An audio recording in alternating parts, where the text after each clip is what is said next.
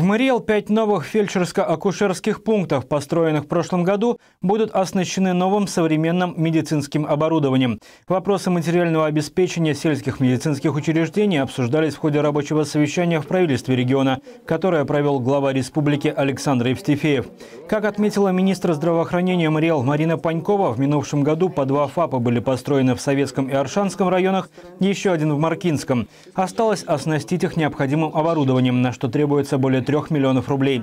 Решением руководителя региона нужная сумма будет выделена из резервного фонда правительства республики. Министерству выделяется 3 миллиона 255 а, тысяч рублей. Вот э, министр финансов здесь присутствует. И я так понимаю, что до конца этой недели целевое назначение а, этих средств будет определено не только юридически, но и фактически.